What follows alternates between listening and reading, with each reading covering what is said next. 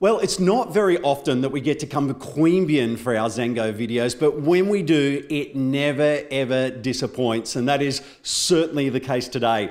10 Lenane Street in Queanbeyan. Brad from Ray White Queanbeyan is with us, mate. Thank you so much for having us here. Welcome. No, thanks, Cam. Good to get you and the crew here. Yep. All right, so let's have a look at the footprint of this beautiful place. Yep, we've, what we've got today is a four bedroom, two bathroom, uh, 310 square metre home. We do have a garage that has a 60 square metre office in that, above that, with another bathroom.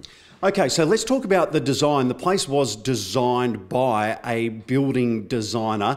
Uh, it's been built in a heritage area and it's really reflected the true history of this place.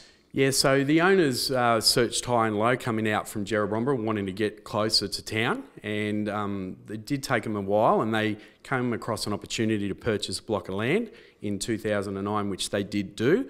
And in this area, you do need to comply with council requirements around heritage, and they did uh, source a lot of the local products here locally, but also from interstate, such as the stained glass windows, to keep with that heritage feel. Yeah, and there's lots of little inclusions, just like the light switches that have that beautiful heritage feel. We've got the, the checkered flag style bathroom floor tiles. Um, it's incredible. There's a real feel to the place, isn't there? Yeah, it's it's a it, it's a modern home, but with that old style feel, and that's been the owners, been a designers, and that's the target of this area, and um, it does complement the home of the heritage. We're in a beautiful living space right here with this outdoor area behind us. There's the separate living areas though for the kids and the parents, which is also separated. That's always a plus. Yeah, so that's um, part of the design, not only for the owners um, living in it, but they do have the grandkids that come over and they can stay and keep keep out the back in a nice quiet area, and also have the front lounge room for their own, which gets a beautiful morning sun.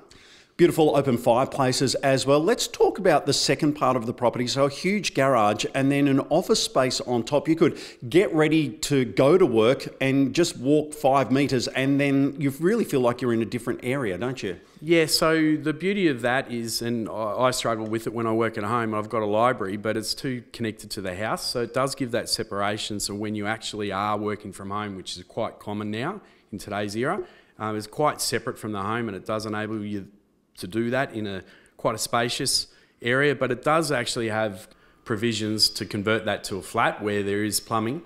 I know you've had plenty of people through. What are some of the things that they've been saying? Oh, it's location, location. It's the old catch cry. Uh, we are literally one minute or from the Queanbeyan Park. The kids can roam there. Uh, the gardens are immaculate. The entertaining areas, the living areas, the design and just the thought that's been put into the build, uh, it's very, very rare. I know you've got the shopfront over here in Queanbeyan as well. The whole area, it's changed a little, but it's still got its own personality, hasn't it? Yeah, so the beauty about Queanbeyan is it is quite older than Canberra and it does have different variations and you see that as it's developed. But what's interesting right now is a lot of people in the older areas that is around that circa early 1900s it's all been modernised and there's a lot of money coming into the area, in particular this area. There's a lot of redevelopment happening, keeping in compliance with the council heritage requirements. Okay, so we love the area, we love the house. What are the final words for anyone watching the video right now? Oh, look, it's um, the owners are motivated to sell. They have they're going on a coastal change. Um, we will be taking it to auction on Sunday, the 10th of December at 2 p.m. We do have one of our head guys from Sydney coming down to auction it. So don't be scared. I'm sure it'll be fine.